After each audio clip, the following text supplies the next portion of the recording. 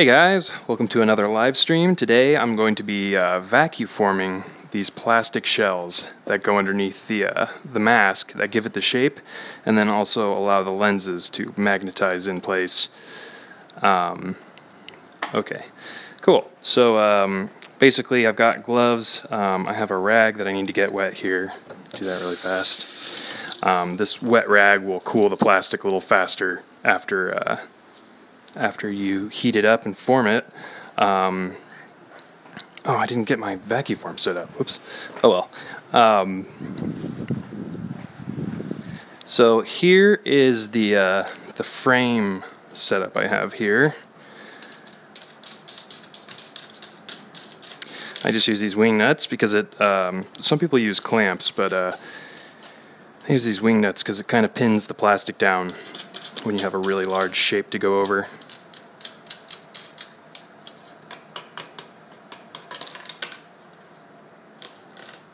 There we go. Yeah, so I haven't streamed in a little while. How's everyone doing? Look at these comments. That's cool. Good timing then. I just saw that Derek is vacuuming his own shells. Um, cool, so I'll have to grab my vacuform set up out in the garage. Buried in the sprinkler system I've got going for my garden. Dig it out. I meant to get this before the stream started, but of course, didn't.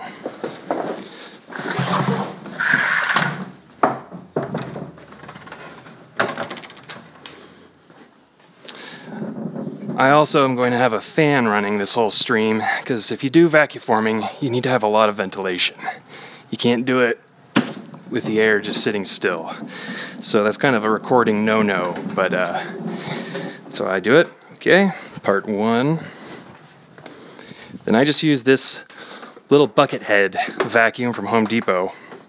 Um, most people probably say it's not enough horsepower to vacuform, and you do run the risk of burning it out, but it's worked basically for like dozens and dozens of shells for me, so can't beat the price. It's like $20. All right. Okay, so first up, I am going to make one ASM1 shell. So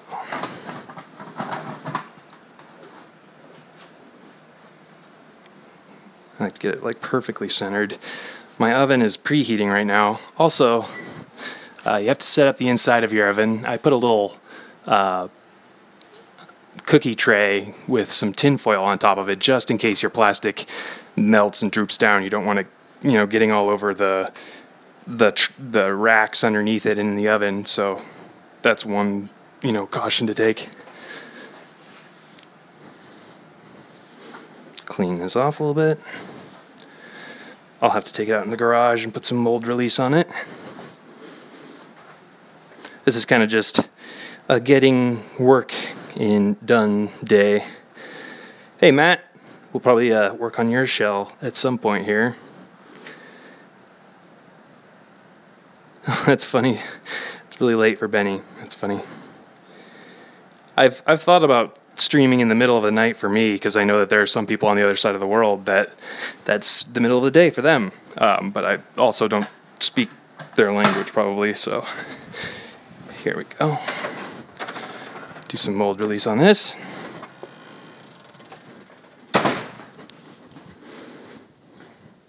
Um, you have to be careful where you do mold release. I just do it at the back of my garage, but the overspray, like if you do it in your basement or on a any kind of um, floor that can get slick, it will, and uh, kind of creates a slippery spot on the floor.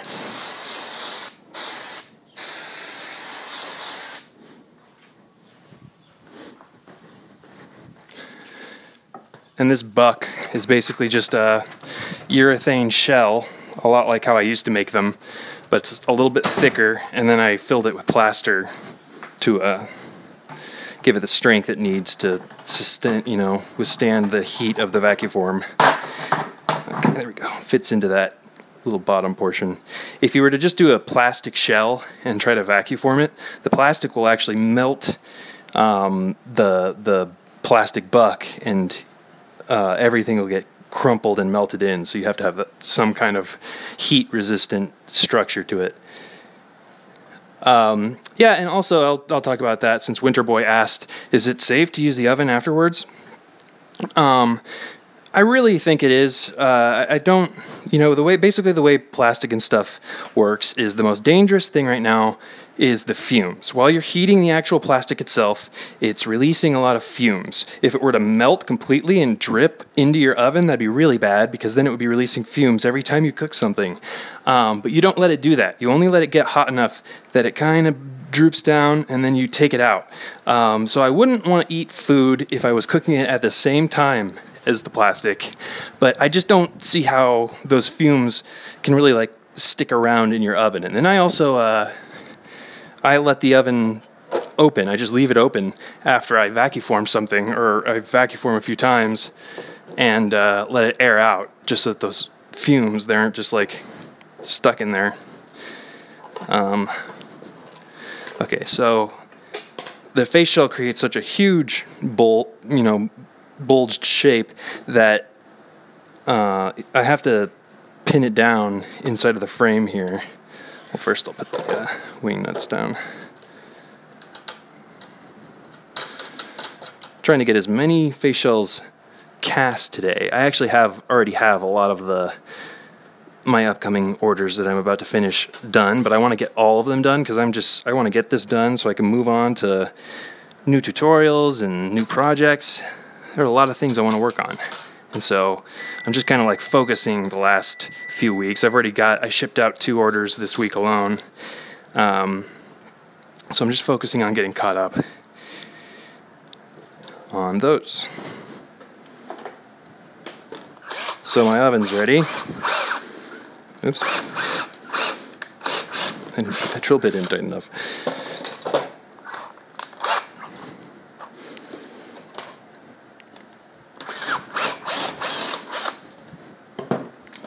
Plastic looks a little dusty, so I'll probably uh, wipe it off.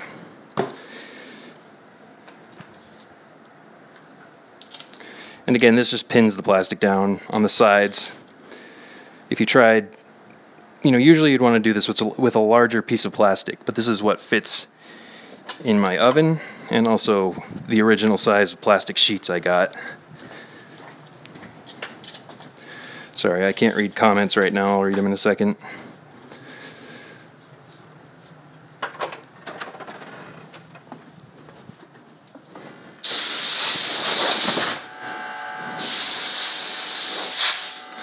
All right. I do that at basically every sheet of plastic just so that um, there's no little uh, debris on the plastic itself that'll allow it to uh, be stuck on the plastic and then be pressed into the final mold. Okay, and so you can see my frame is kind of specially built here so that the wires suspend it in the middle of the oven there. And so now I set a timer for about five minutes. That's how long it takes before it like starts to get ready and I really need to be paying attention because you don't want it to be ready right when it's time to like mold. You want to have your timer go off a little earlier than that in my experience. Um, uh, insane rain i saw that question a couple times. He asked what's your first cosplay? Uh, i did boba fett.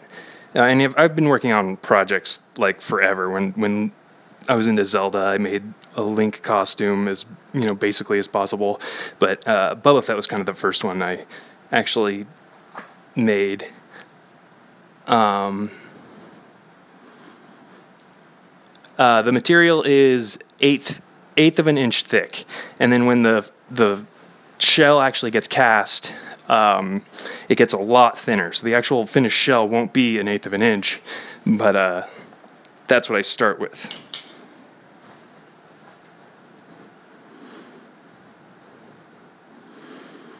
Yeah, that that's Derek just said that having an elevated buck is good for reducing webbing. I, that's basically the the whole design of the tilt of it and how high it is because I get webbing down here, but I make sure that it, it doesn't, you know, it doesn't come too far up on the chin. The webbing usually stops like right up on the chin. And webbing is when, you know, the material has to come in so close. You can see these these kind of bumps in this plastic because this is a vacuum formed plastic base that smooths everything out.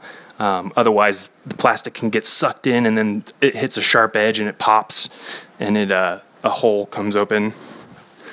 So we check. It's still still heating up. You can you can tell when it starts to dip down, and then I let it dip a pretty far distance because you want it to be able to go that distance the other direction to cast the shell. We'll see how this goes with the camera in my face.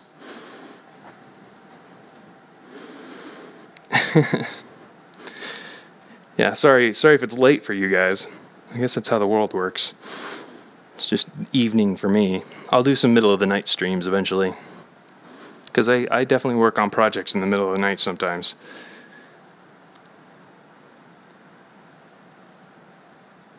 Okay, so getting ready. I'm going to use these gloves just so I don't burn myself on any of the metal components.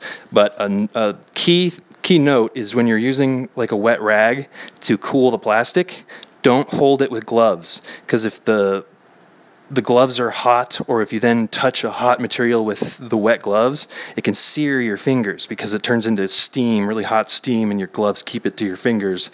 So that can be a really bad burn. Um, so as soon as I use that, I take the gloves off. Okay, so we're starting to, to droop here. You can kind of tell. You can see me in the reflection there.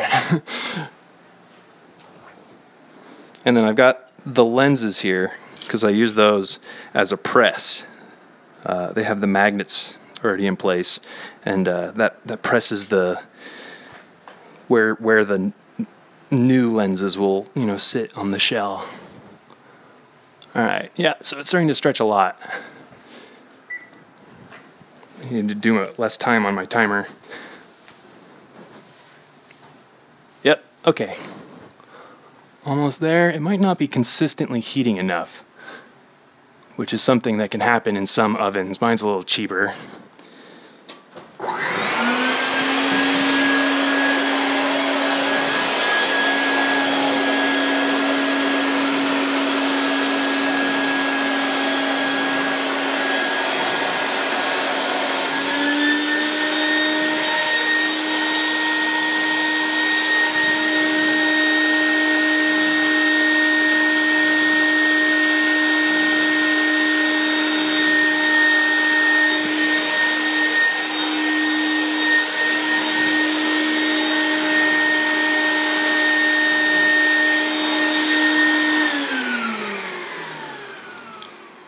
Was pretty successful. Hopefully that wasn't too loud or annoying. I apologize. I should have warned warned you before. Okay, yeah, that worked pretty well. Basically, if it didn't work, you know, sometimes it doesn't suck all the way in on the side, so it kind of just smooths out a little bit and doesn't keep the shell shape, or um, it can can print. It can kind of get pressed into some impression and then move, so you have that impression move. So you have to look out for little things like that. Um, and now I clean it out and get ready to cast a new shell.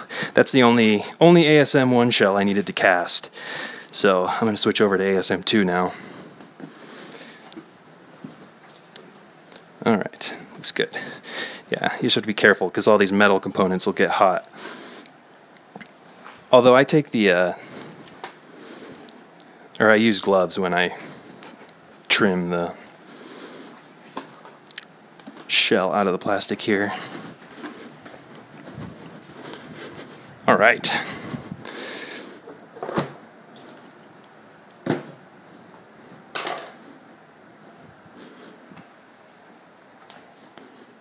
Grab the comments.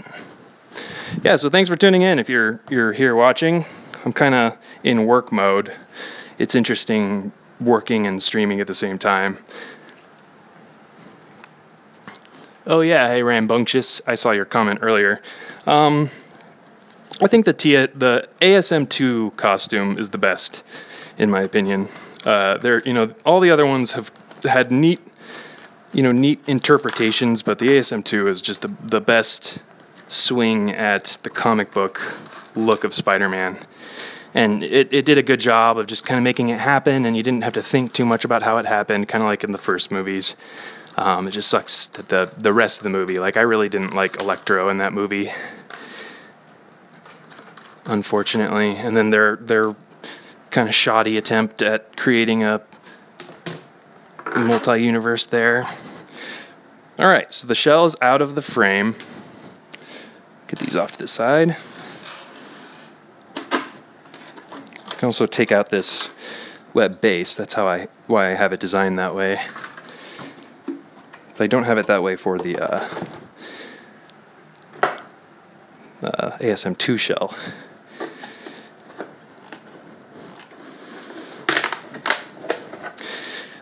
Are you uh, Nova Gaming? Are you talking about the old cartoons like the 60s cartoons? Because I have those on DVD. I watch them every now and then. It's just, it's funny. It's just such a, you know, Saturday morning cartoons have come such a long way since then. if you look at something like the, the 90s Spider Man or the 90s Batman or the 90s X Men show and compare it to something like the old 60s Spider Man cartoon, that cartoon is, every episode is identical in its structure. And the animation's always so comical. And the, the theme song is played twice in a 15 minute episode, and the theme song lasts like a minute and a half. so every episode you get three minutes of the theme song. Funny stuff.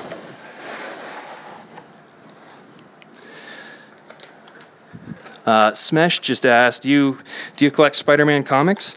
Um, actually, no. I'm not. I'm not as big a fan of the comics. I've I, I read them a lot when I was younger, but I kind of fell out of it because um, when I was reading comics in the '90s, that's how young I was when I was reading comics. It was very, very much a festival of characters dying and coming back to life that was kind of lame. That always kind of reminded me of soap operas because I think that's just the the crux of any kind of storytelling that has to go on forever. Is it starts to seem like a so- soap opera with dramatic stuff happening. That's why I like the movies. I, I'm not gonna throw those away in this trash. It's already full. The movies are great because it has it has to be some super important event in that character's life. It's hard for it to just be a mundane never ending thing.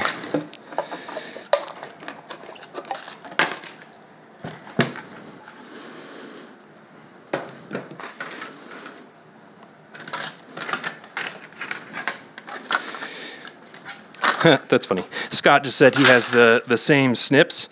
These are actually um, airline airline snips, I think. And the one thing I learned is the color actually tells you what direction they cut. So if it's red like this, it cuts off to the left, I think. At least that's my experience with it. And then I think if it's green, it cuts the other direction, and then yellow cuts straight.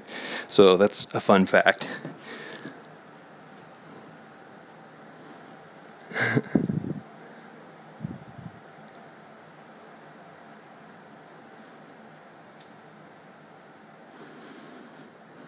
Um, this material is uh, ABS plastic.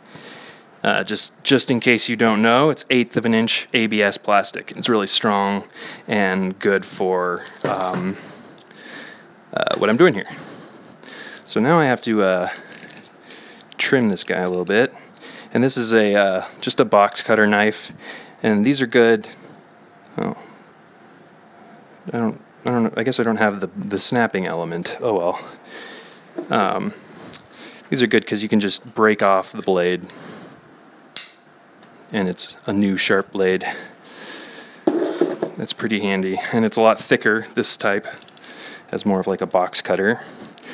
Always be careful, don't, you know, cut like right near your wrist or towards yourself.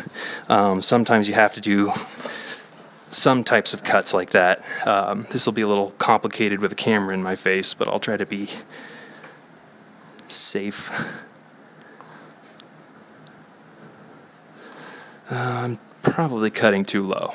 The big thing about vacuum forming a face shell like this is it has a lot of undercuts. What an undercut is, is right now the plastic is on this thing.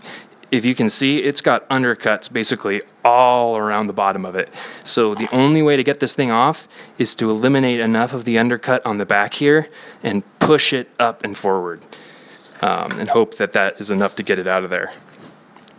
So yeah, I have to trim all the way around here. I already know that that's probably too low, so I'm gonna start again.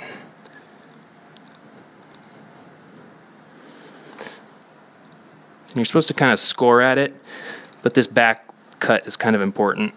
So try to get one like nice, clean, straight cut and then score at that. So it's pretty, feels pretty freed up back there. Now I go all the way around, right underneath where the outside of the shell is. Get rid of as much undercut as I can.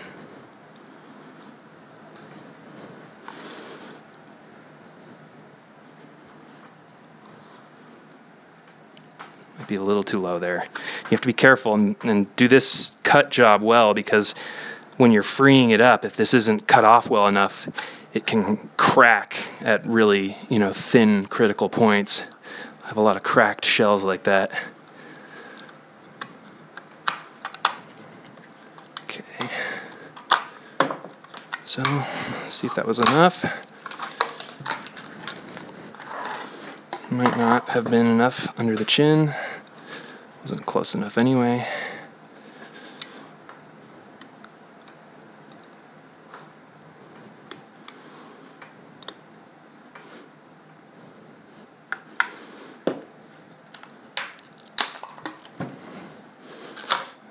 Careful because this is not fully cut.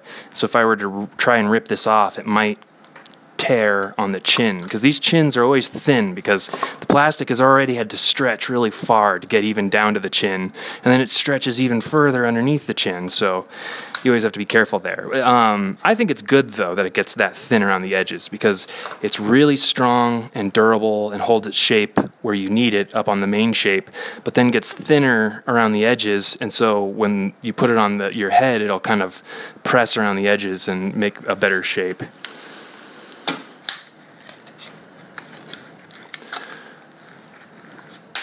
Um, I'm Derek. I'm not sure what HIPS plastic is, um, but you you could definitely look it up on Google because most most plastics are going to have a lot of information about like thermoforming and their thermoformability. Um, ABS is a thermoform plastic. Like the insides of airplanes are basically made the exact same way this face shell was, and a lot of like automotive parts because it creates just one solid piece of plastic that is really durable. Wow, I've got 111 people watching. That's crazy. I guess face shells are interesting. Vacuum forming face shells is interesting. That's about 100 more than I usually have. well, that's good. Um, I'm going to, uh, speaking more about the streams, I'm going to be doing some more uh, like kind of professional looking streams with the non first person camera. I'm sorry if this makes some people sick. I always, I always forget to mention at the beginning of the, the um, stream that it's kind of like podcast mode. It's not exactly just like a tutorial stream. You know, there's so much downtime and just kind of chatting. Okay, and so this slit I'm putting in here, I just talked to a customer about that. They were wondering if it was intentional. This slit is necessary to get it off of the the buck, and then it also helps on a larger head like mine to get the uh, the shell actually on your head. Oh, that was easy. Okay, well usually that's a lot harder. Um, but I guess I did a good job trimming it. Uh, and the mold release goes a long way.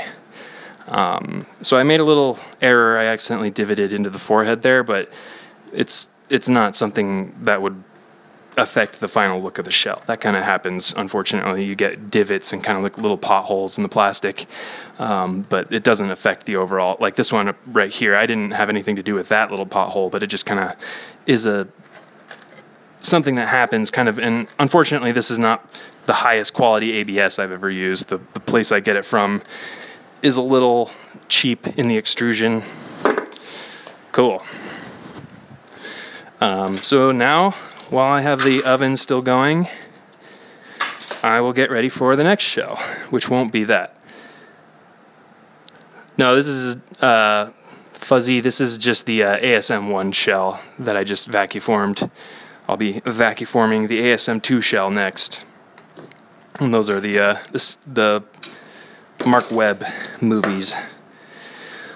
I did the the Sam Raimi mask in the past, but I didn't do it with a face shell because it used to be face shells used to be the you know such a tough thing to come by, and they are they're a lot of work to get to a good spot with them. They're pretty crazy shapes, ultimately. Come on. I just have these four corner bolts glued into the frame.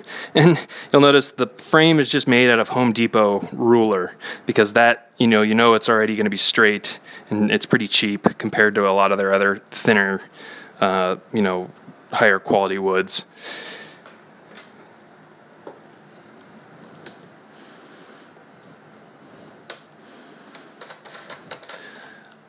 Oh, so uh, Derek Derek, um, if you ordered it from a vacuum form site, then yeah, it's definitely definitely going to be available. Thanks, Daniel. I'm glad you guys are using the uh, or liking the uh, the stream. using the stream. And uh, hello, Russia. I guess I don't. Hi, hi, everyone. Hi, world. That's the world we're living in.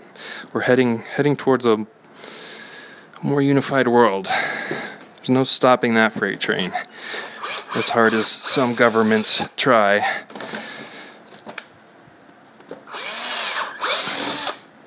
All right. So this is almost ready for forming again. And again, I apologize if this first person view is like sickening or shakes around too much. Uh, it's really convenient for me because um, if you've ever done a tutorial or any kind of video like that, you know that it can take so much time setting up shots and, um, oops, there we go. You know, uh, getting camera angles and all that kind of stuff, and it just takes way too much time away from actually doing the thing. And some, you know, it takes so much time switching from camera angles um, to do something like this vacuum forming. Whereas I can just kind of work on it, get the work done as quickly as I want to, and then uh, move on.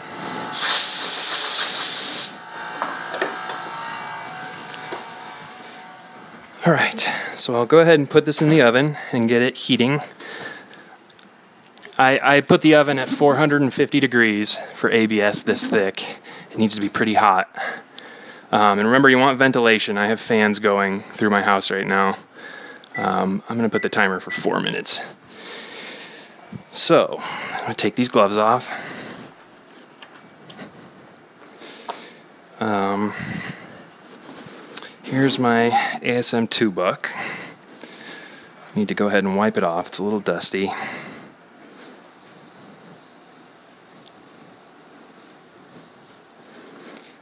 Good.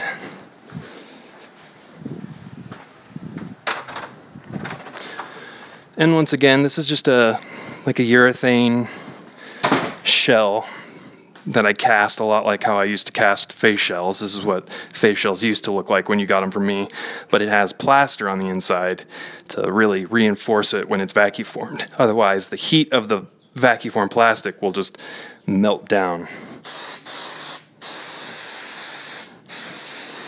Okay.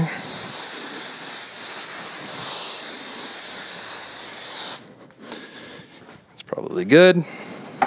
Uh, this one's a little more difficult. The ASM1 has less undercut. This one needs a little bit more help in some areas.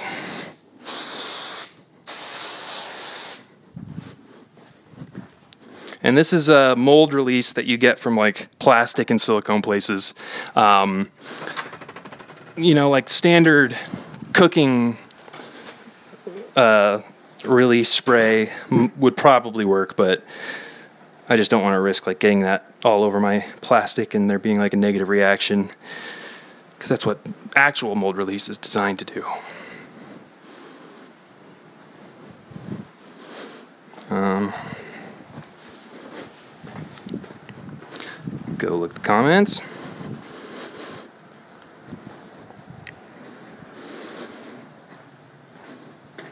Wow.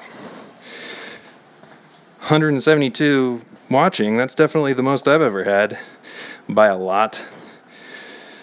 the comments are kind of like all the other comment streams on YouTube live.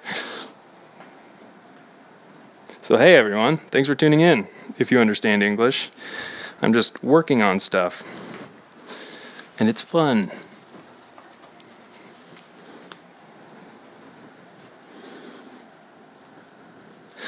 Oh, uh, Nova. Yeah, I've seen your your comment. Um, Miles Morales. I like I like that character a lot. I like the design too. Um, I don't know much about the actual character himself, um, but uh, yeah, I was actually contacted a few years ago, like right after I started doing puff painted suits, to do a Miles Morales suit, and it would look a lot like uh, what a lot of people have have kind of come up with. And it looks cool. I think it's a cool design, a lot like the symbiote suit. I think the black and red is good for like a Spider-Man design because it makes a little more sense than red and blue. But everyone loves the red and blue suit. that's such a huge component of the character. Okay, so this might be a little loud. Just everyone watching, you might have to turn your volume down if you understand English. Just so you know. Okay, so I'm at about like two inches of droop here. I don't know if you can really see it that well. I want it to get to like, you know, three, three and a half inches. Turn off my timer since I'm here. All right, yep, so that's about ready to go. Okay, here goes the vacuum.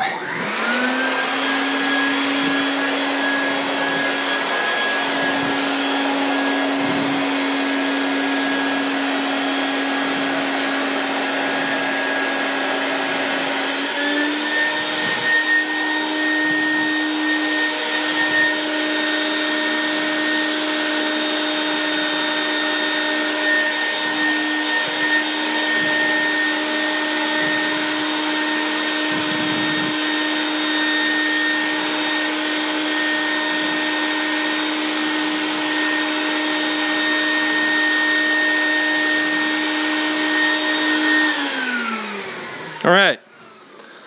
Yeah, that's another good one. Yeah, I've I've I used to have a lot of trouble with vacuum forming. I would kind of run into a bunch of little problems, but it seems like now I've kind of solved a lot of those issues. Um, Roman, if you look at my Instagram, I did the symbiote mask from Spider-Man 3 a few years ago. That was kind of like one of the first Spider-Man projects I worked on back in the day. I did Venom too. Uh, my Instagram account is just McLean.Krieger. So a lot like my YouTube uh, account, just without the space and with a, a dot in the middle. So go check out my Instagram. I've got some pictures of projects I've worked on there. And this is cool. Yeah, wow, 239 people. That's crazy. So yeah, this is kind of what I was hoping for more more or less like when I started to get into MCU stuff. So that's exciting. It's to be a lot of watch time for my channel. All right. Ouch. Yeah, see, those get hot when you put them in the oven. So that's why I just moved to gloves.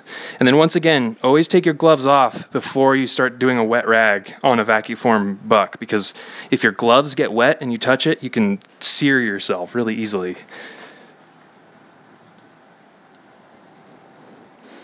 Yeah, glad you guys are enjoying it.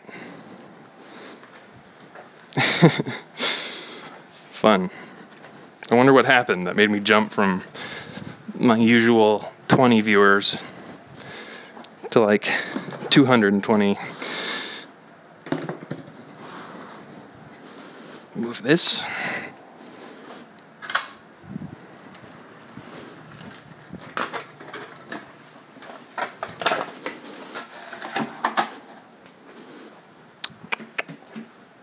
What did I need?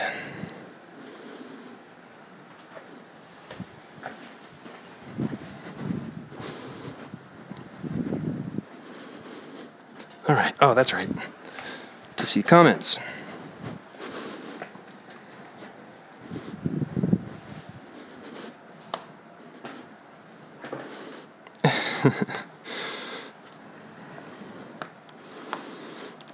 oh, thanks, Roman.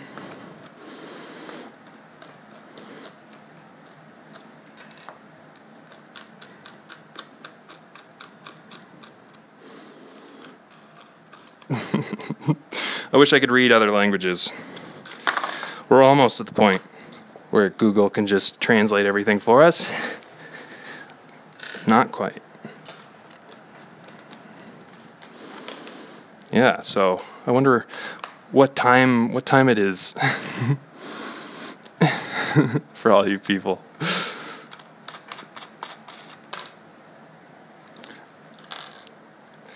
This is just the uh, Amazing Spider-Man 2 mask shell, face shell.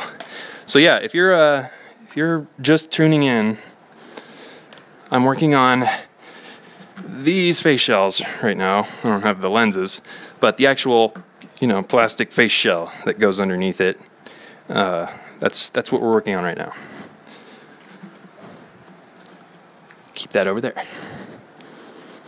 Yeah, and I apologize. This might be, as, as I just did that quick movement, this might be sort of sickening for you guys. So I apologize if that's the case. But it works really well for me to film this way.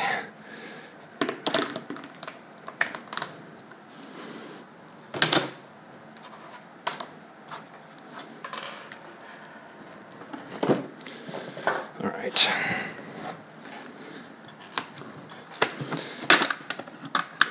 Uh, no, this isn't Venom. This is just the shell that goes underneath a Spider-Man mask. Um, I've done Venom though. If you look at my Instagram, I want to do that project again actually, especially now that we're getting Venom and Carnage in movies. That'll be really cool. That sounds like a really awesome project.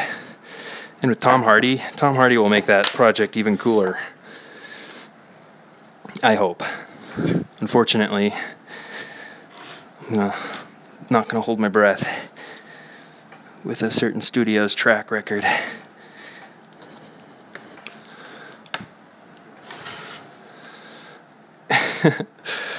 um, uh, Chicken Nugget just asked, "How do I make Andrew mask?" It's identical. Um, well, it's not identical, that's for sure. I still there there are a couple things that I want to do. Actually, even more further changes to the, the mask and the shell when I move to 3D printing, because there are some things I think I can fix and clean up really well. Um, but a lot of practice, that's the key. You know, it's taken me years and several, several uh, face shell versions to kind of get to the point I'm at in all of this. But it never ends. You can always be better. That's why I love this stuff. It never ever ends. Reality reality is like a Minecraft version with all the mods and you can just build whatever you want. It's just a matter of finding the tools and the materials. It's wonderful. It's my favorite thing to do. Okay, so this has a lot of undercuts right under to the neck. This one's always a little bit more of a struggle. And I'm really scoring this cut here because you just don't want it to crack up into the actual mask itself.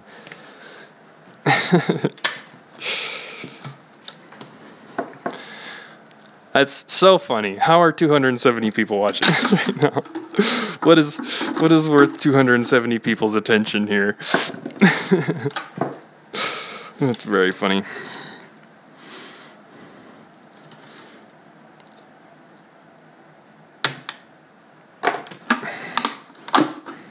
There we go. Cracks like an egg if you score it well enough.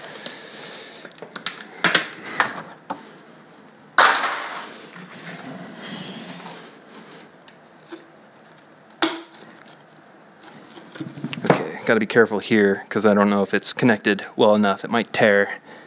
Here we go. Ooh, that was a little risky. What just happened to the chin there? If I if it had been a little less scored, it might have cracked. I've I've really cracked so many face shells that way. And they also like to crack right here. Anywhere that it gets really thin because of the vacuform process. There we go.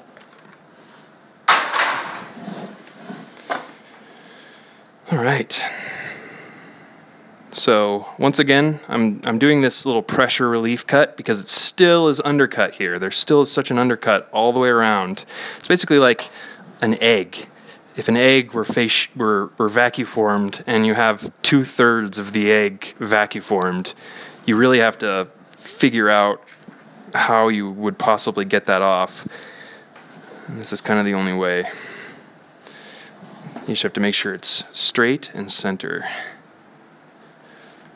And I start with a smaller cut, and if I if it, I struggle to get the face shell off, I make it a little larger at a time. Just have to make sure that it actually goes all the way through.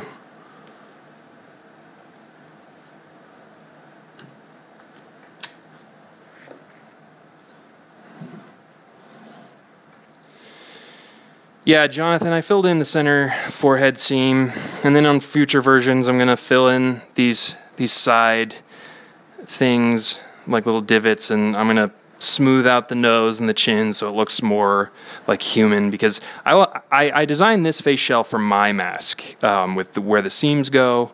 Um, it doesn't really need the forehead seam because even the movie mask has the forehead seam, seam kind of sticking up a little bit. Um, and these, the way the chin is designed, I've, I've noticed that, you know, if it's not my mask, if it's someone else's mask, this chin design really sticks out and is apparent. So, you know, I've noticed people, you know, still really like my lenses, but, you know, there are other shell, shell types they go with. Um, so it's an always always improving process. I feel like I'm I'm so I'm close enough though that if I were to modify the shape a little bit in 3D program and have it 3D printed, um, I'm basically almost to like total accuracy. All right, so I think that there's too much of an undercut still, so I might have to trim more off the back here can really be a fight. Oh yeah, there's way too much of an undercut here, so I just need to trim like half an inch off. I can I can basically eyeball and know when it's too much and gonna be trouble because it really pinches right here on the back temple. Um, overall, I think it's a better shell design than the ASM1 as, as far as how, how it ugh, as far as how it looks. But the ASM1 comes off the buck a lot easier.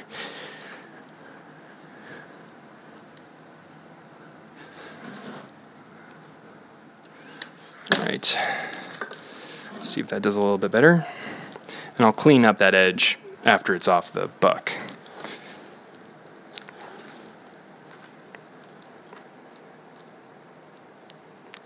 That's really on there. That's where your mold release is important. Ugh, I didn't trim enough off yet.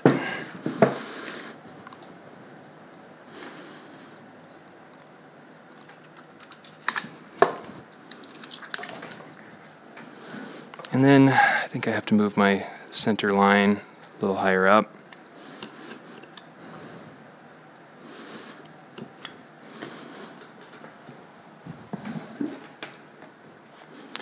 Yeah, Painkiller Heartstone. Um, I want to do the Moving Eyes tutorial. I just have to really have to get these done first. I just can't ignore the people who are waiting for this stuff and only work on that stuff. So I need to get this stuff done, and then I will move on to that. Um, it's a good sign, though. I mean, getting such a big boost in viewers, I'll definitely factor that into consideration. Yeah, this guy's really fighting just because I didn't use enough mold release, maybe. Unfortunately, my other mold release that I typically use is out. And so this other one's not quite as reliable. So here I am fighting with it live.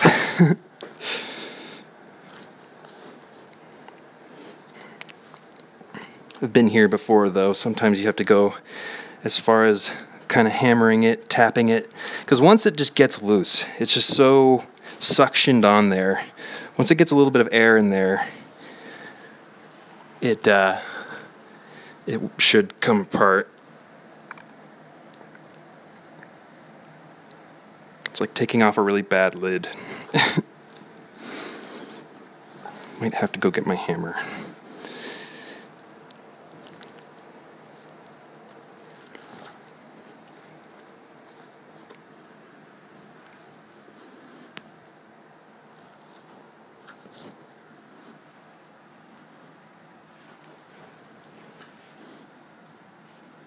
I don't know how going to the gym's going to give me leverage on this thing. Although I do. I do need to go to the gym more.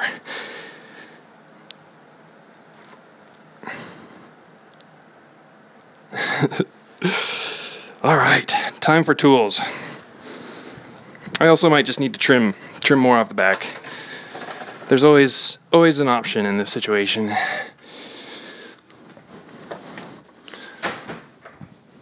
Hammer. Just gotta be careful not to destroy it. The shell or the buck.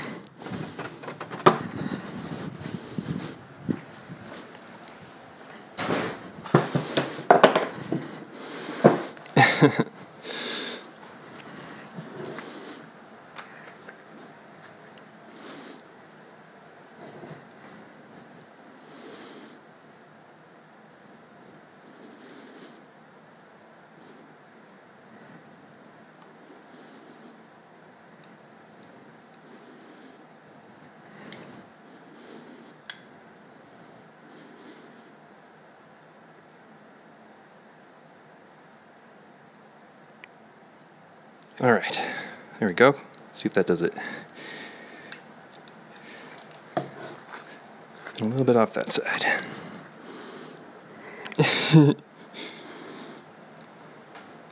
yeah, the difficult thing is, keep in mind that my only point of leverage while I do this is this little tiny edge between the face shell and the, the buck.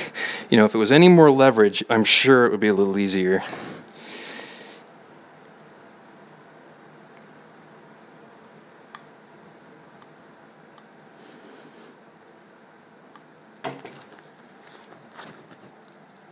Oh,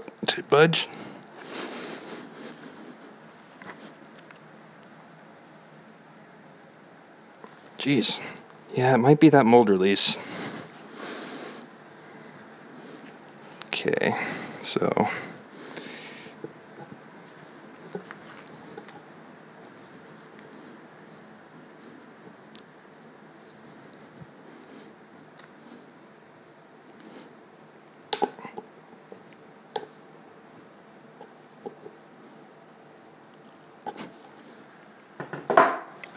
Yep, I've had this struggle before.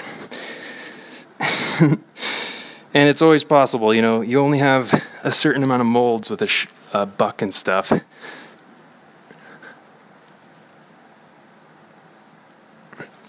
it's so funny.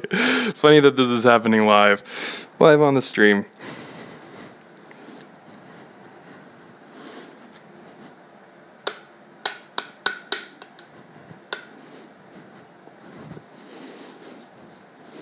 Have to be so careful because I just don't want to destroy either the shell or the buck. That's another thing. You know, it's it's grabbing on down here a lot. Oh, yeah, and over here.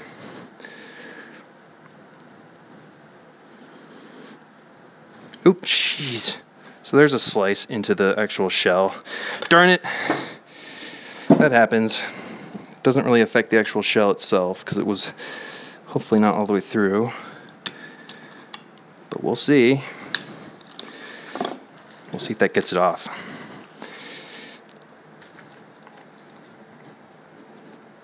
Ugh. Yeah, that thing is just on there. Might have to take the camera off my face.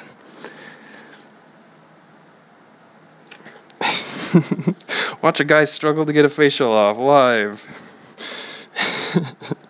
Hundreds of viewers. Will he win? Oh no, I cracked it. Darn it. a big crack. See, that's that's what I was talking about. Careful not to destroy it. Well, this one might be destroyed anyway, just because of the fact that it's not coming off.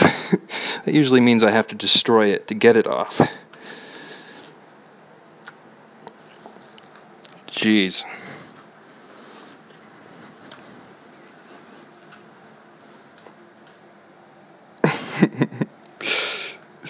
yeah, I don't think I used enough mold release, unfortunately. Pretty sure.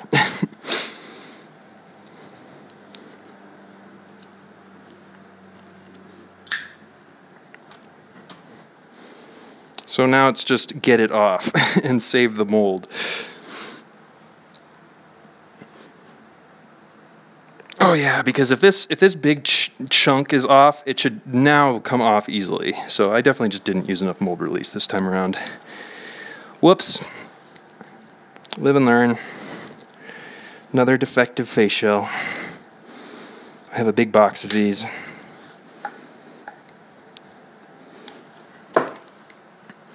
Okay, time for brain surgery. I've had to do brain surgery before here. Come on, just come off. Nope, it feels like kind of stuck. Okay.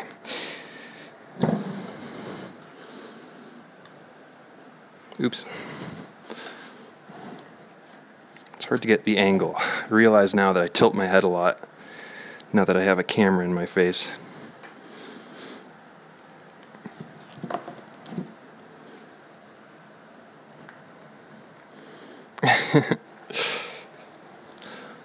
hey, 300 viewers exactly. And then down to 296. Well, it was 300 for a second. It's definitely an all time high for me. Alright, so now I'm just doing surgery and getting the face shell out.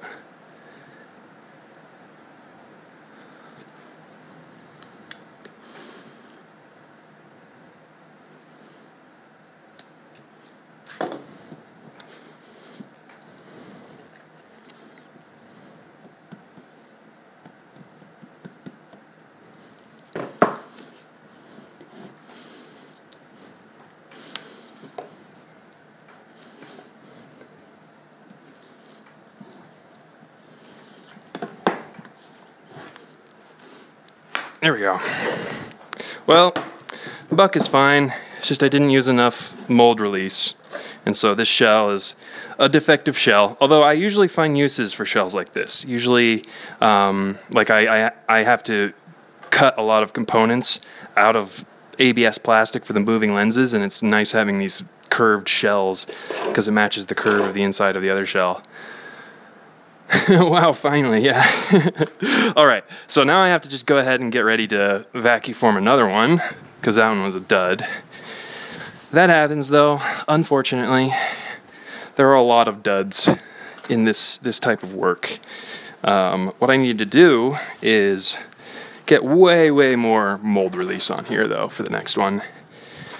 The first shell came off no problem, and then this one way too difficult. So it just needs to look like it's wet, essentially. And especially in undercut areas. I just didn't do nearly enough. Because if you look, if you back up in the video, you use your TiVo functionality here, I sprayed it a little bit and I knew immediately that that wasn't enough. So I went and sprayed it again for another couple of seconds. But, you know, while I was struggling, I realized that that still wasn't enough. It just needs to look glossy. You know, it looks wet right now.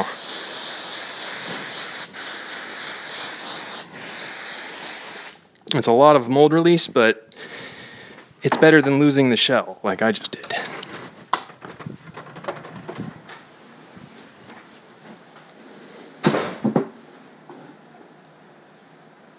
that, that struggle, I'm sweating now because also my, my air conditioning is off in my house in order to just have the fan running.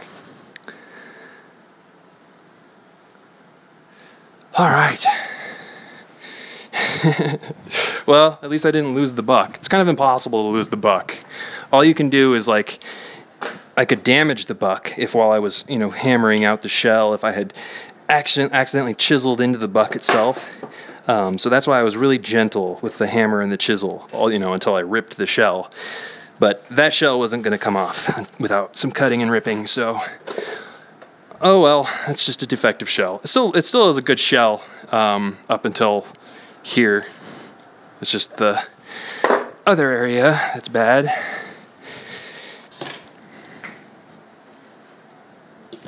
Okie dokie. Gotta just keep moving on. Trying to just get every stage done of every shell. I have a lot of shells that are closer and ready to go, but I just want to get all of these done. So I'm kind of just treating it like I have one giant order to do, um, which can be hard to do. There's a lot of labor for that many shells in each step. But I've been doing that with like the lenses and stuff, and then when I'm finishing another set of another sh shell order, it's easier because I get to that step where I did all of the work and I kind of fly through it. So I think all these shells should be done soon. Thankfully. We'll see what the future holds. Not really itching to get right back into it. But I have ideas on what to do that.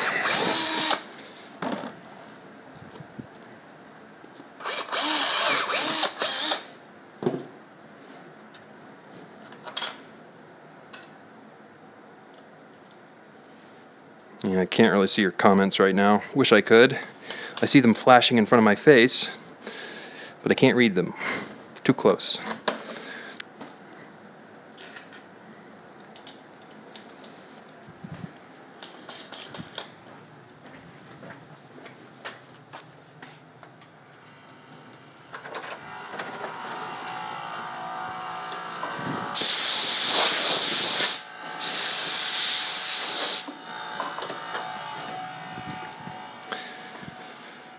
All right. Next piece of plastic in. Give it four minutes. About. Hey, Degsy. Yeah, uh, thanks for tuning in, everyone who's watching right now. It's been about a week, week and a half since I last streamed. And, you know, I, I don't want to slack off and kind of let this fall apart. So I, I really enjoy doing these streams. It's fun to be here and talk to you guys.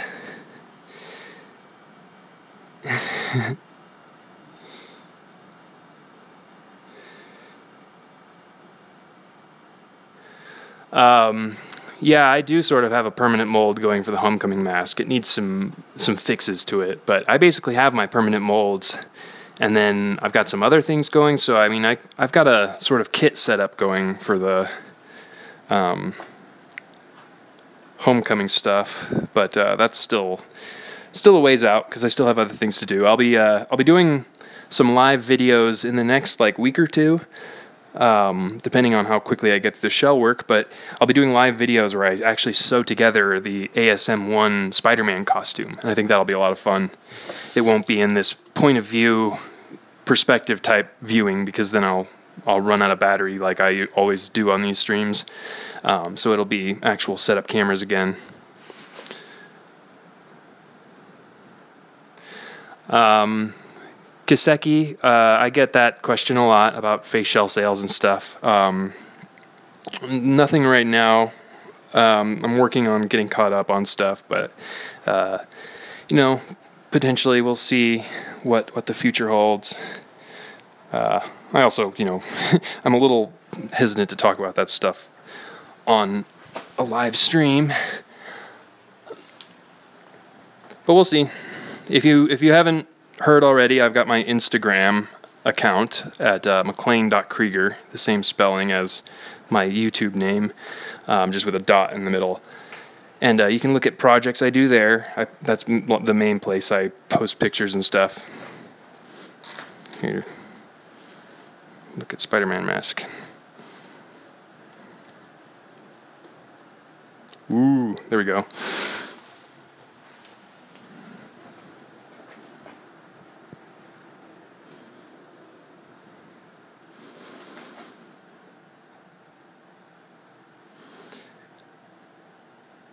Yeah, Degsy Degsy asked about how to glue rubber components to a suit. Yeah, it's a little it's tough for sure. Um, cuz yeah, glue can be tricky unless you use a flexible glue. You just have to do a lot of testing, um, test the different glues and stuff. Like if you have scrap pieces of the trim or something. Um, but yeah, gluing rubber stuff is definitely tough.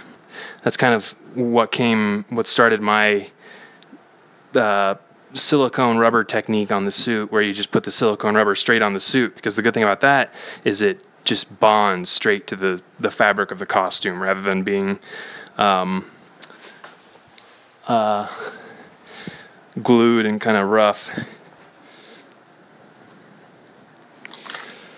All right, so fingers crossed this thing has enough mold release this time. Ooh, that was almost my phone on the ground. That would have been nice. Okay, so the plastic is almost stretched out enough. Yeah, I'd say it's pretty good.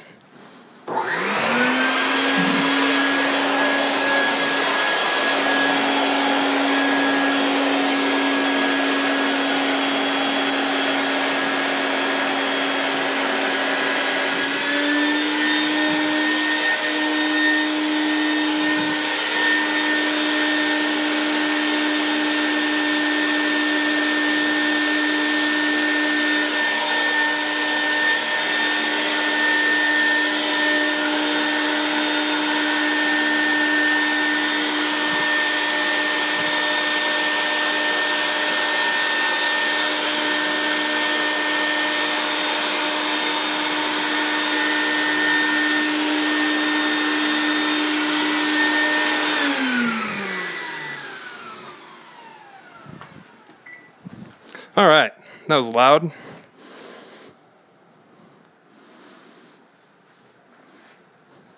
Yeah, that would work for that kind of Spider-Man noir looking shell.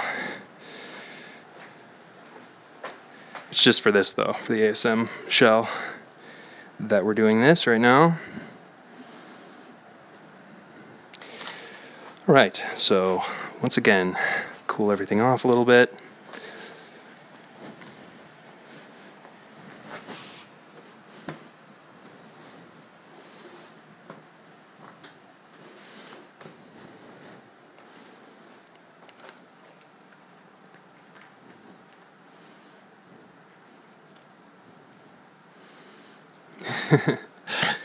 Yeah, well, Degsy, you're in luck because that's kind of all today is is vacuum forming over and over. I just have to clear out the frame every time. That's kind of the biggest tedious part of vacuum forming is clearing out the frame and the buck if you're using the same buck over and over. Yeah, thanks for tuning in if you're one of the new viewers I have right now because there's definitely a lot more viewers than I typically have during one of my live streams. It's exciting because then I'll get to work on, you know, newer fun projects that I'm I'm looking forward to working on. And I can do it live. You guys can watch. So subscribe if you if you aren't already, and uh, then you'll you'll get a little notification when I go live, and then you can tune in. So get those out of the way.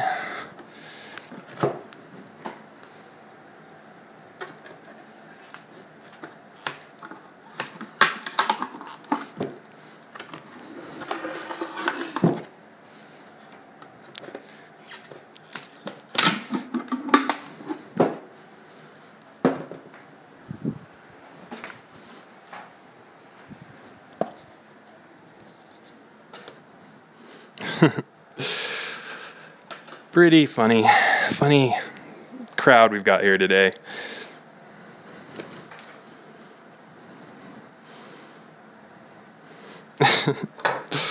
That's pretty funny.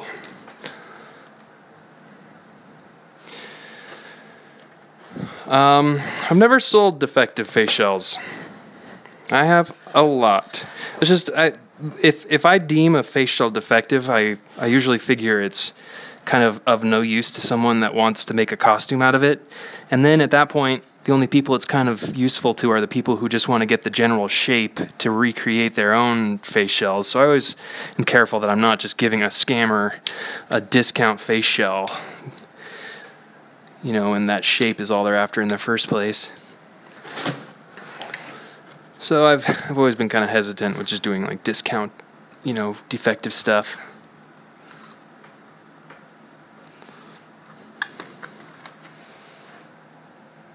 Yep, this part again. This part again, over and over. This is definitely the worst part of uh, the vacuum forming process. Because it's terrifying. It's so easy to make mistakes. So easy for it to lock up like it did. It's kind of, you know, the best term for that is high stress work you know, if you're doing a project that has a lot of chance of like failure or, you know, kind of messing up and it messes up the whole thing, I call that high stress work. And that's like all of this face shell work. There's just such a high likelihood that you'll be working on a lens or a shell and you'll have put like hours and hours and hours of work into it and then it fails or something goes wrong which is just really stressful it's stress it's like walking along a tightrope between two buildings, knowing that you know the the consequences are so high.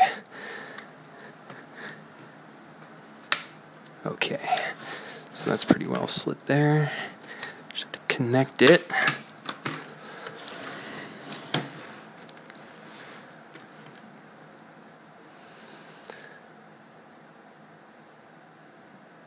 Oh, uh, Degsy, um, he will get that shell for sure. Um, I don't want people to think that he's never going to get that thing. Um, it's just still broken.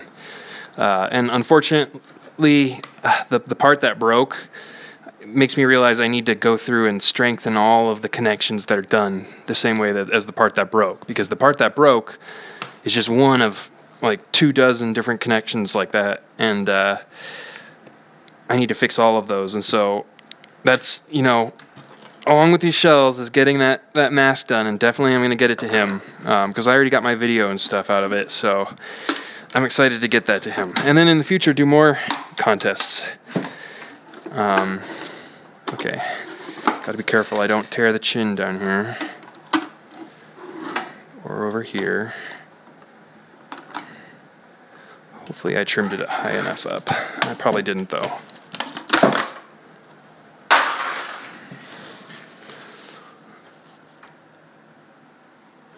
Try to aim my camera a little bit better here. Sometimes I forget about it.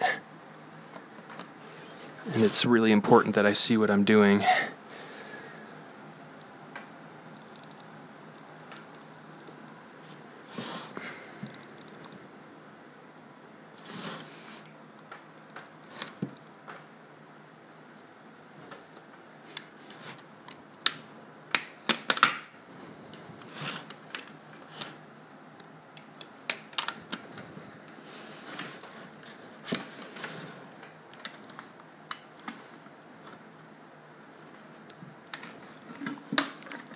almost there. Got to be careful because I keep saying it.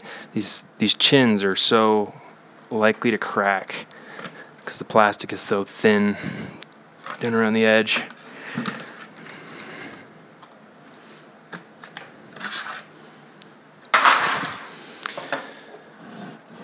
Hola, Andrew.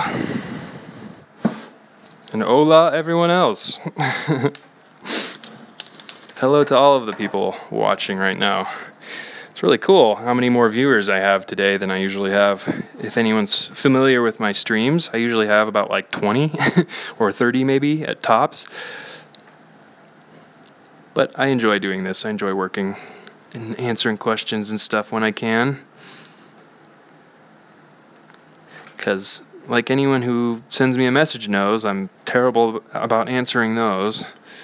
So, this is kind of like the best time to get my attention. All right. Fingers crossed for a little more success this time.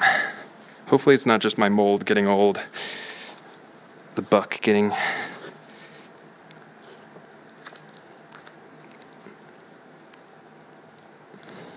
All right.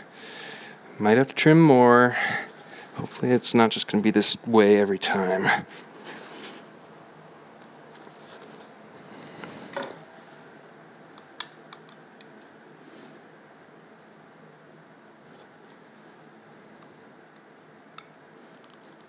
Really is one of the worst parts of vacuuming, especially when you've got a shape like this face shell. Should come off though. Oh, I see the bump. I'm gonna have to trim that anyway because I've got this high point.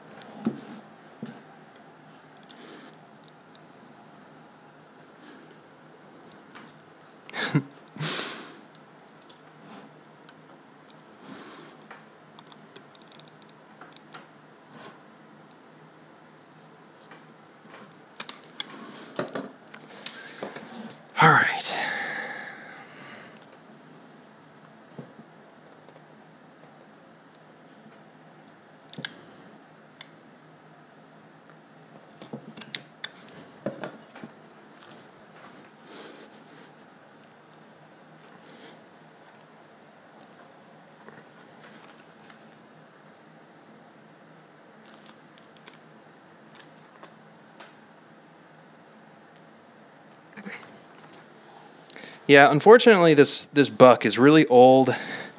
I've cast so many shells on it that it just gets harder and harder every time. That's kind of the nature of vacuforming and stuff. Gosh, I hope I put enough mold release on this time. Hope I had.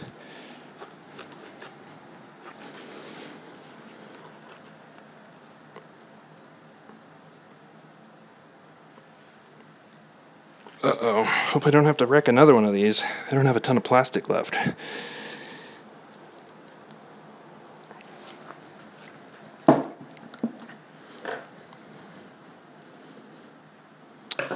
Let's use something a little flatter. Hmm.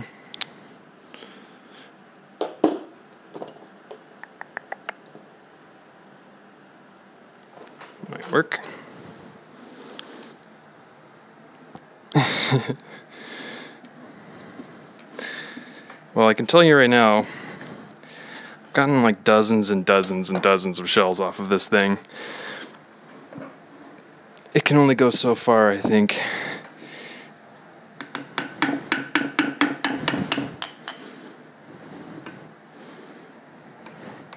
Just have to be careful not to crack it like last time.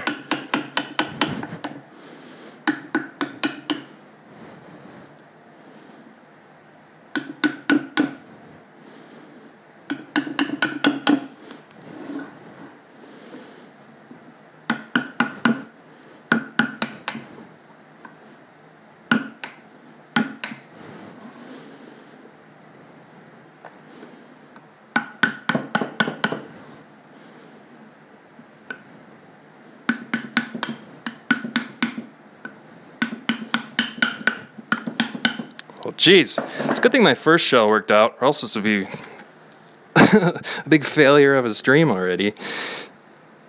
First shell was easy, just slipped right off.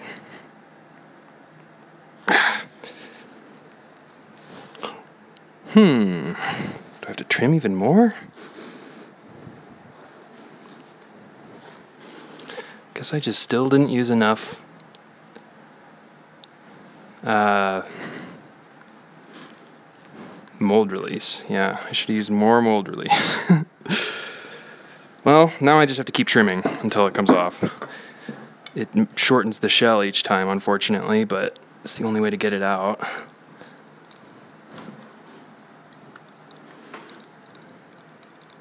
Because it's all of this undercut. Very annoying.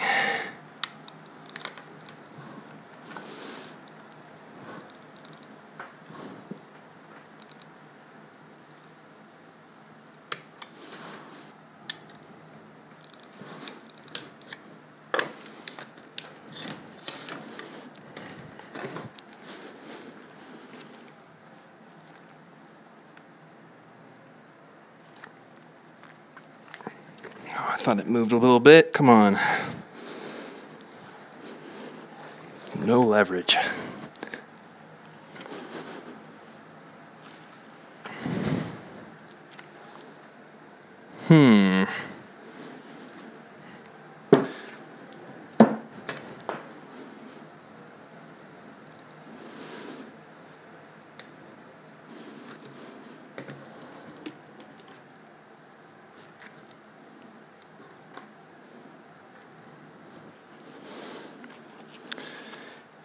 Yeah, demonic strawberry. There are lots of other ways um, to make face shells. You can do face shells, basically any method that you can use to make a hard, you know, lightweight surface like fiberglass or plastic.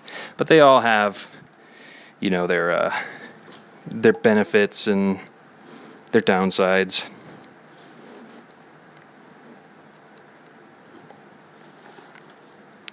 I like the vacuform shells because they're really strong. Um,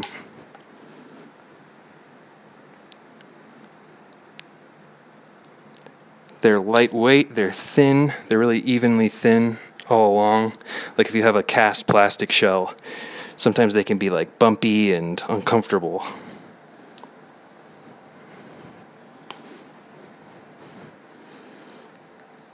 Trying to break this seal on the inside.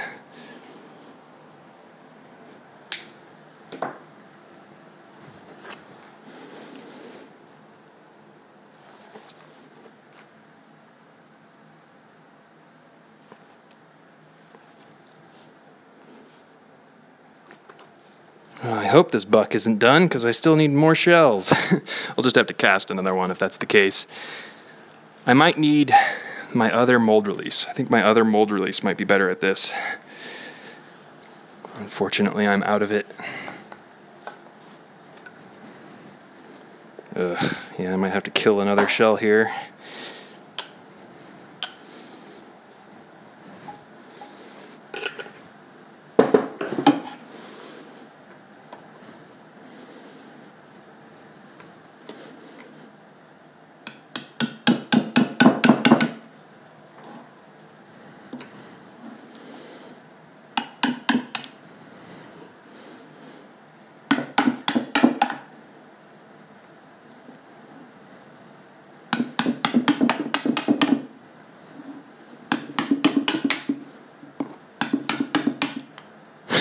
I'm just chipping away at it. That's nice. Eventually it'll destroy the buck itself. Yeah, it should definitely already be coming off, so I think that's another mold release problem. The mold release should get it off.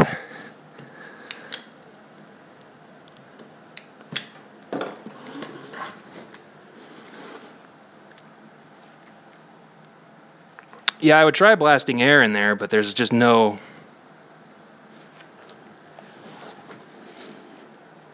space. Yeah, it's crazy. Two shells in a row. Usually I, I get a little bit more done in this amount of time when it comes to vacuum time.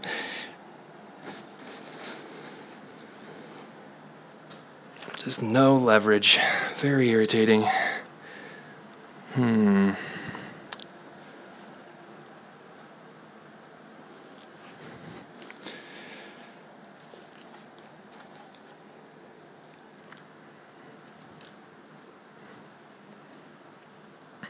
So the most frustrating thing is that it's just this this little sliver of leverage along the edge that I have to hold on to here.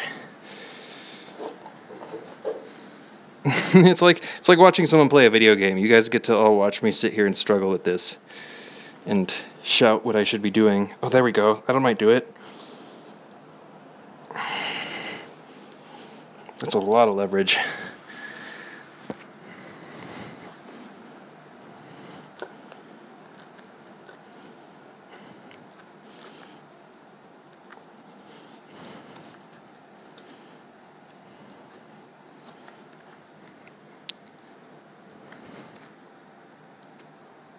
Oh, come on. Yeah, that is so stuck on there. There we go. Jeez, that was what I was waiting for. Ugh. Oh, you gotta be kidding. Don't tell me you cracked on your way out. Okay, good. Whew. All right, so this is still a shell. Good. Salvaged it. Well, that worked. Sticking needle nose pliers in there and then grabbing onto the plastic so that I could actually push because it needed to be pushed away from the shell because it creates like a suction in between the shell and the um, uh, buck. yeah, Jesus, finally. I, I agree. I'm sitting here sweating working with it. so, yes, I agree. I'm going to put a lot more mold release on the next one. And then you get to watch me struggle with that. It's fun for everyone.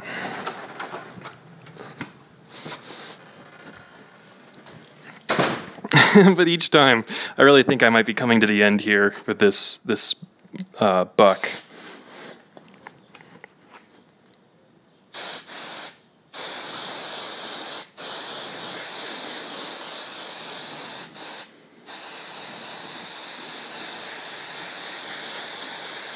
You just want there to be so much that, you know, it's just like petroleum jelly. It just glides off when it's time to separate the two.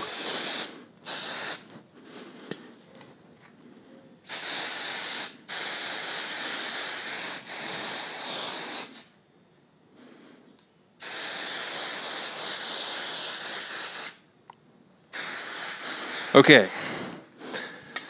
Let's hope it works better.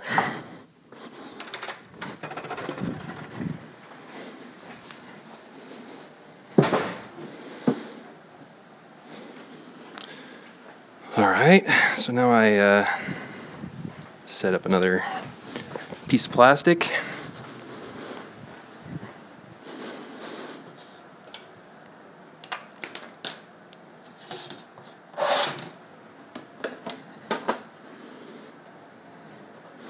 Um, there's not really any such thing as too much mold release. Because if anything, it just kind of pool up and drip and um,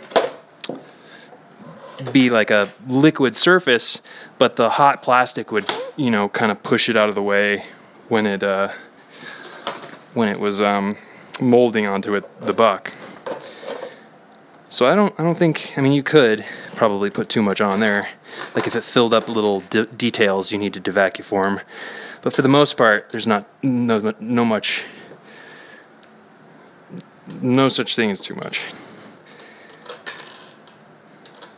You can just be wasting the mold release at a certain point, and it's kind of expensive stuff, unfortunately.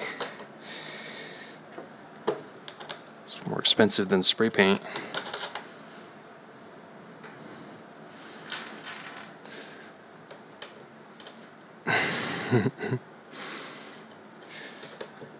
All right, well, we'll we'll form a shell in a minute here. I just have to heat up the plastic. I just leave my oven heating the entire time while I do this.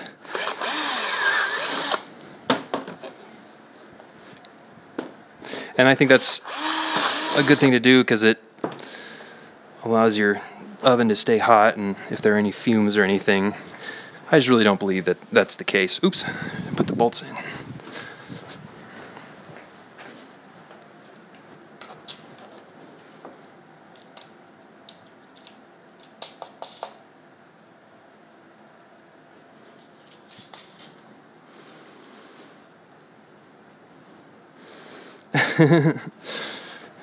the meaning of life is just to reproduce, it's just to keep living.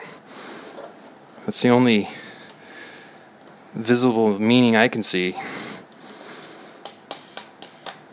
That's, that's life's only imperative is to keep living, is to reproduce and keep itself going.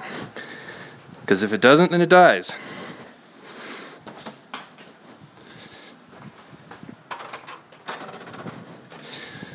All right.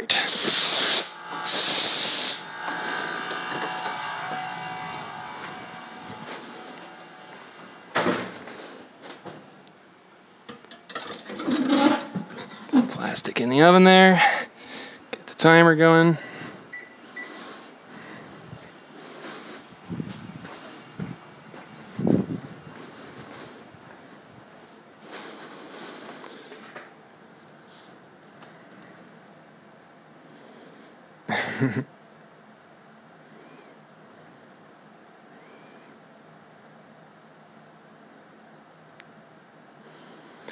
yeah, I put a lot of mold release on this time. But I think it might might just be this this buck, this vacuform buck just getting old and uh, as it gets old, you know, the, the vacuform process itself is really tough. It's 450 degree plastic that's being put onto your buck and then being sucked down with vacuum pressure um, and then being pulled off and ripped and muscled off. Uh, and so that can be really destructive to whatever your buck is. And so you only have a finite amount of shells or castings you can make. And that kind of goes for most molds. You can only make so many before the mold itself starts to get destroyed. And unfortunately, I've I've vacuum formed this thing like dozens and dozens and dozens of times, so it really could be just getting to that point. It might be time to 3D print a new buck, honestly. That might be what the, the next thing I do if this thing starts to get dysfunctional is I, I 3D print a new buck like I did for the MCU shell and then it'll have a lot of like if you see these little black areas are where I to, had to fix the shape. Like I filled in the the forehead gap. Um, a little area here that was a little weak. There's a little area here that didn't go quite far enough out. Um, but I can fix those with 3D printing pretty easily. Hmm. Yeah, all right. Yeah, and I'm doing this this point of view type filming on my phone. So my phone sometimes just cuts out. I got a, a warning message a little bit ago. So just so you know, if the stream just randomly cuts out at some point, that might be what it is. Shouldn't happen before I mold this though.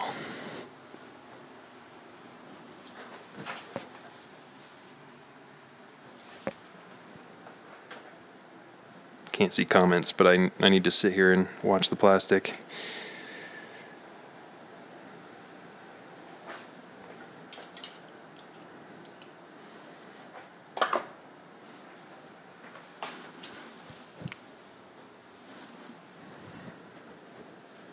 Almost. Yeah, that's pretty wet and slick with mold release. So fingers crossed, this time it's enough.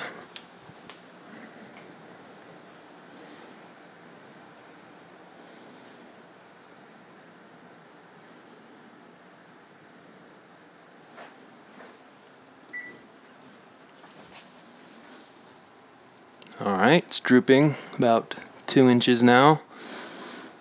I don't know how well you guys can see it through like the reflection and stuff. Drooping about two inches. You can see it's just like going at a pretty steady pace now, so it's time to take it out and vacuum form it. So, loud, loud part here.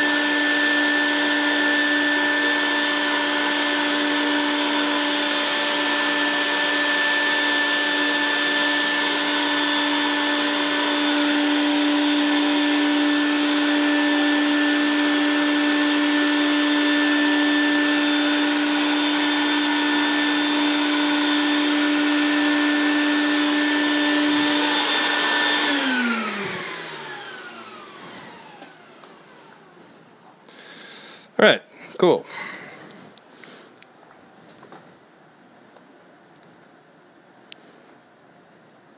Leave those guys there. I don't know how the mask got so moved. There we go. Uh, I think that's probably the last shell I'll do for today. So turn my oven off. And actually, I turn the oven off and then I just leave it open. Oops because like i said earlier as to the conversation with you know if the fumes are toxic or if it's toxic to use the, the oven afterwards i really don't think it is and then it's I mean, especially not if everything's allowed to air out and get out of there. Um, you'd really, I mean, most issues with heat and plastic and food come when you're like cooking a dish on a plastic bowl or something that isn't meant to be heated, and then it leaches its plastic or uh, it leaches chemicals into the actual food itself, and then you eat those chemicals. Um, which I mean, that doesn't happen at all in this process. You're not putting your food even in the oven at the same time as the plastic. Um, but I mean, if you're if it's if it's too risky, then for sure, um, you know, you might want to err on the side of caution. But I don't foresee there being an issue with that.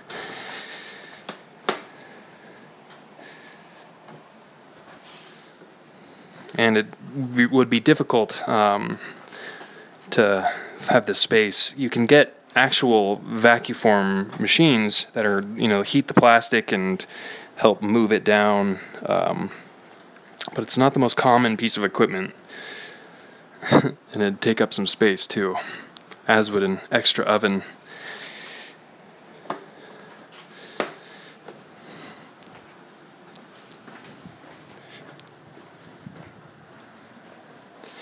All right, back to everyone's favorite time.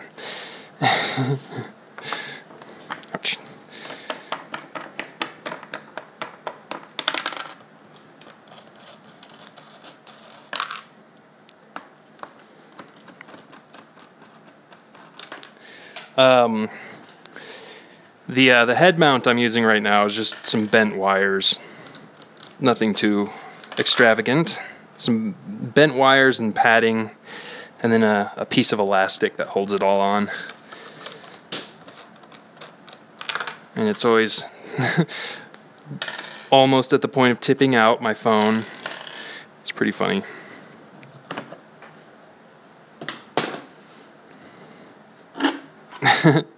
yep, this again.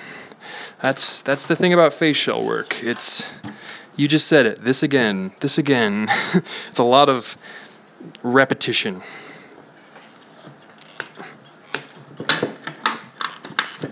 repetition and then also really high stress work, like I said earlier. So it's repetitive, stressful stuff sometimes.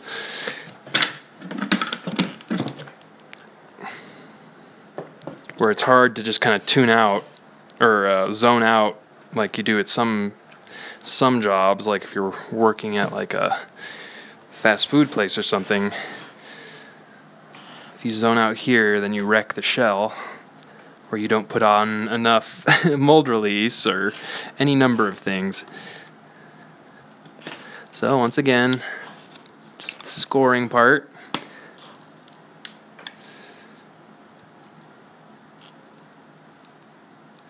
At least that last shell came off without me needing to destroy it. I was happy that that wasn't a defective shell. Okay, so I'm just going to do it high up on this one to start.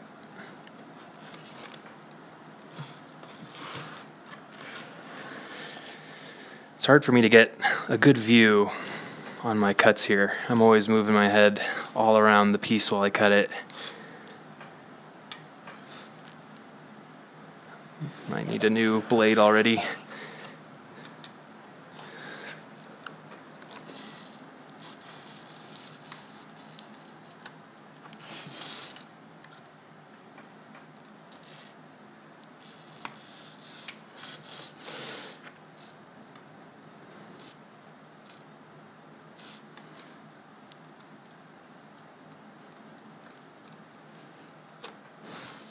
Ooh, I lost a little bit of detail right here, I think. Uh, maybe not. Nah, that's fine.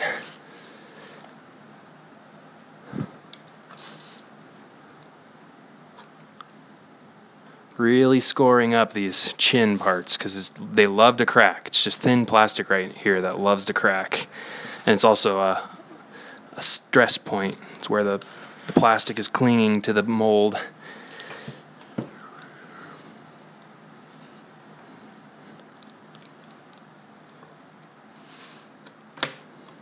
right.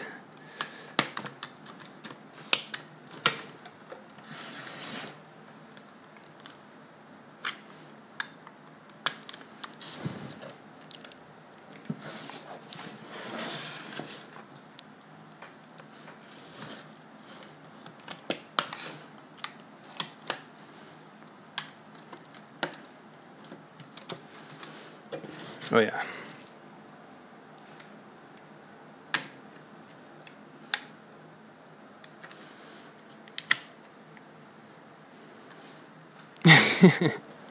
wow.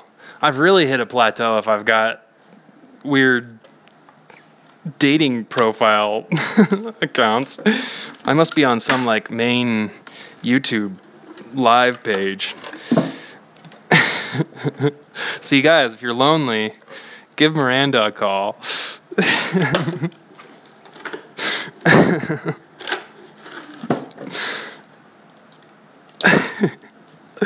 Uh, if you go, if you go look at the other, um, uh, if you look at the other um, YouTube live streams, like there's live Family Guy and live South Park.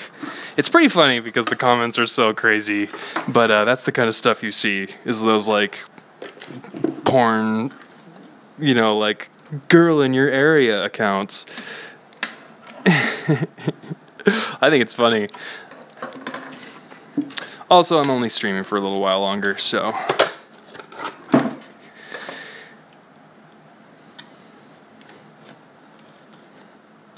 But this was a very, very fun day of streaming. Very surreal with how many, uh, how many people were tuning in at one point. I had 300 at one point as the peak. Yeah, and my phone is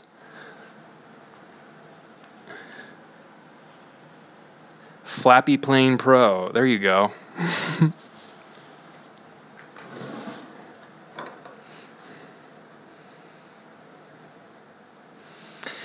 yeah, I've uh, I've noticed how the MCU shell, the newer, in some of the previews, you can really see a lot of like facial structure on the shell. I don't know. I think that's to each his own kind of thing. I make the shells just based on my own choices. And you know, all this structure and stuff you see here, I know it's not like accurate to what a person's face looks like. It's it was all in getting more of an accurate ASM2 suit, and uh, it it fits perfectly with the pattern that I made, um, and so it all comes together. Like I mean, if I if I show you the shell on with the the fabric mask part, you can see that it creates that that kind of like um, geometrical shape where this pattern piece is flat and then it's flat directly on both sides. Uh, and you know, in the movie, I think that was just because they had thick thick enough fabric to get that to happen, but I didn't have that. So I had to kind of make do by actually creating the shape on my face shell. Um, so it really is just designed for my pattern and similar patterns. And, uh, but I can see how, you know, it, it it's a little ugly on other patterns where you can kind of just see the weird shape underneath. Uh, if, and if that happens and you have my shell, you can like sand. I think you could sand the shape down maybe a little bit. Um, but it's it's not that big of a uh, eye-catching detail. Okay, so maybe I'll just start with the pliers to begin with this time, rather than kill my fingernails. Okay.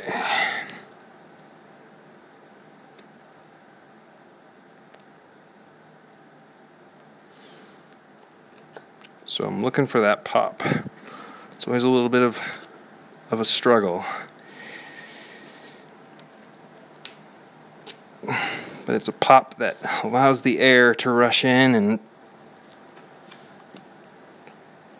get the shell off the mold.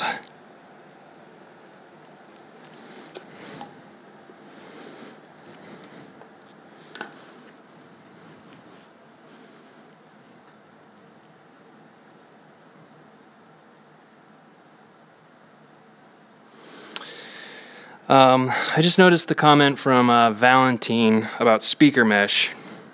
Uh, I don't use actual speaker mesh itself. I use something similar. Um, if you can't,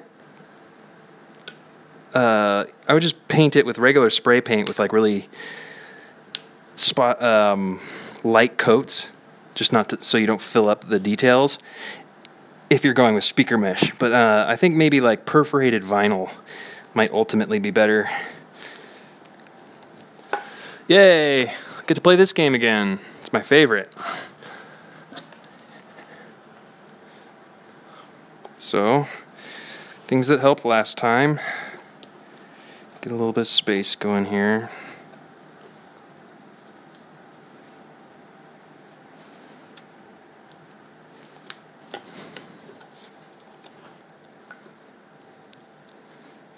Well, I think the secret the secret message behind this stream is if you get knocked off the horse, just keep getting up on it.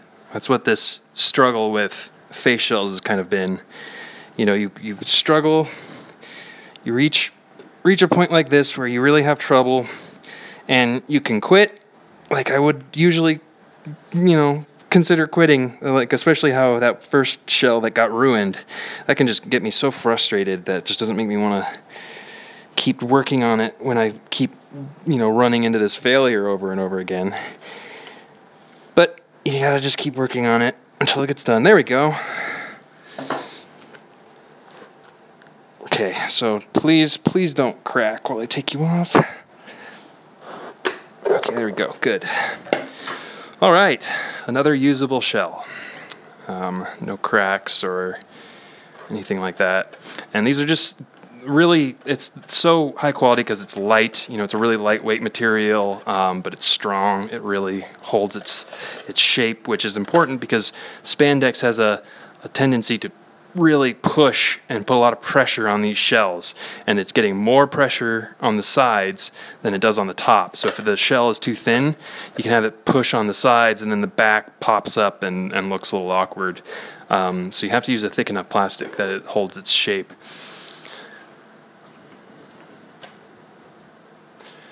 All right, cool. Well, that was some fun shell making, shell shell making time. I'm about at the end of my phone's battery here, so it's not going to last too much longer. Um, oh, this is cool. Here's some of this gold material as an ASM2 lens. Um, show you kind of what that looks like. I'm looking forward to doing uh, an Iron Spider project with this. I think that'd look really good for Iron Spider. Even though, I mean, this the MCU suit is basically the Iron Spider, because I mean, it's a suit that was made for Peter by Tony Stark, and that's basically what the Iron Spider costume was. Um, but yeah, I think that'd be fun, fun to pursue anyway. Um, it's a cool, cool gold look. Um, I might make the homecoming uh, homemade suit. I, have never really done the homemade style because I like to I like to push myself and learn about like getting these like really, you know, high quality, um, refined looking shapes like the this really hidden seams and the the well done webbing. Like I like to challenge myself and try to get as close to that kind of stuff as I can. Um, I almost did a Bane mask once, Flappy Plane. I just caught your uh, comment. Um, I had all the components ready and stuff, but I kind of I like to go in directions where there isn't already a ton of people working on that pro- specific project. Like back when Amazing Spider-Man 1 came out, there was like only a couple other people working on that suit design. Um, and so I kind of had the idea to use puff paint again and you know, I kind of went from there. Um,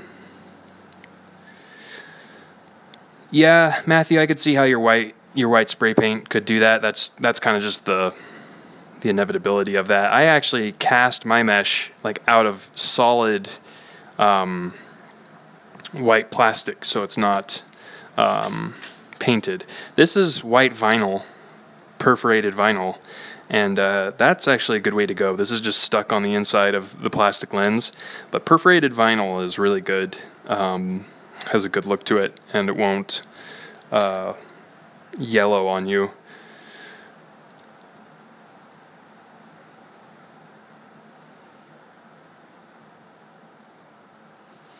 Yeah, so cool. Uh, my phone's about to die, so I'd say rather than just letting it die and not getting to say goodbye, I'll probably just go ahead and call the stream at that.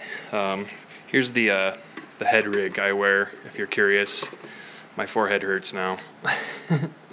so, there you go. Um, yeah, did a lot of did a lot of vacuforming there in that stream. Kind of showed you the ins and outs, do's and don'ts, um, things that can go wrong, like your your um, your uh, uh, shell can stick to your buck and stuff like that. But yeah, I think I'm gonna go eat some dinner. Thanks for tuning in, everyone. It was really cool having 300 subscribers at once and. Uh, uh, subscribe. Yeah, I kind of merged my thoughts there. Uh, 300 viewers at once. Uh, subscribe, though, if you enjoyed watching, because I do streams like this about once a week the last few weeks. I might kick it up again, but uh, for now it's been about once a week. And yeah, it's fun to hang out with you guys. So uh, thanks for tuning in today, and I'll see you guys later.